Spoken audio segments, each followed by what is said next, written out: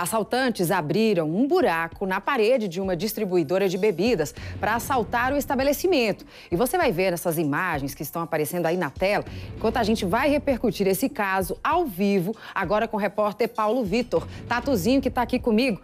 Tatuzinho, e aí, você tem mais novidades sobre esse caso todo? Boa tarde.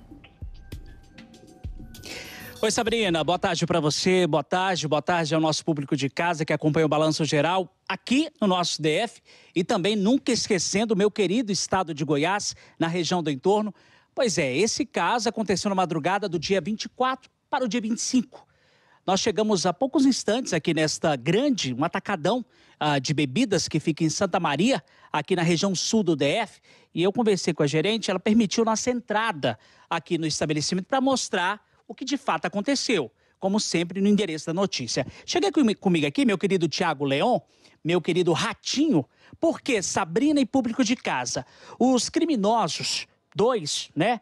Eles arrombaram aqui a parede do comércio com uma marreta bastante pesada, quebraram a parede, agora já foi né, restituída, tudo bonitinho, só que eles quebraram, os dois conseguiram entrar aqui dentro deste atacadão e eu vou fazer exatamente quase que o mesmo trajeto que eles fizeram para cometerem este ato.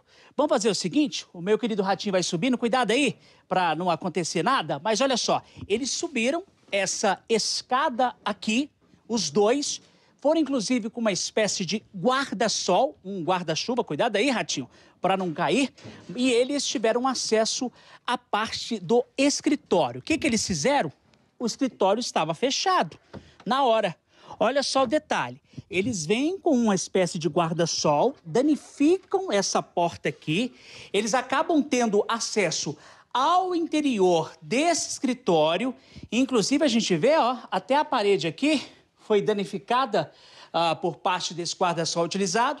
Vieram até a parte onde ficam todos os equipamentos, toda a estrutura, né, a logística aqui, inclusive ainda está revirado, porque a perícia foi feita no local. Mas só que tem algo que chama muito a atenção.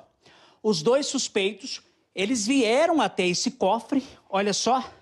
Segundo o que a gente pôde apurar com o proprietário, com a gerente aqui, eles não eram acostumados a guardar dinheiro neste cofre.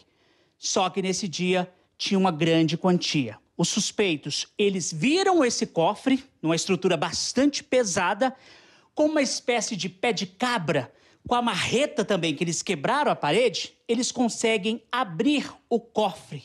E aqui, deste local, Sabrina e público de casa, os suspeitos conseguem sair pelo mesmo trajeto que eles fizeram, levando mais de 100 mil reais.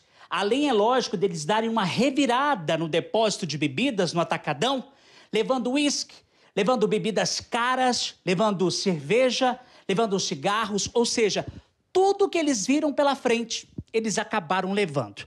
E agora esses dois seguem aí, até agora não foram identificados nem presos. A gente sabe que o proprietário registrou-se uma ocorrência na 33ª Delegacia de Polícia Civil aqui de Santa Maria e a polícia segue investigando. E lógico, a gente conta com a nossa grande audiência do Balanço Geral. Quem conhece, reconhece, denuncie. 197 Sigilo Absoluto Polícia Civil, 190 Polícia Militar minha querida Sabrina Alves. Agora, Tatu, que chama a atenção aí, né, que eles já deveriam conhecer essa estrutura aí da distribuidora de bebidas, onde ficava o escritório, né, onde estaria armazenado aí esse cofre, né, muito suspeito tudo isso. Então, você que tiver alguma pista aí do paradeiro desses dois bandidos, denuncie, assim como o Tatuzinho passou o telefone da polícia 197.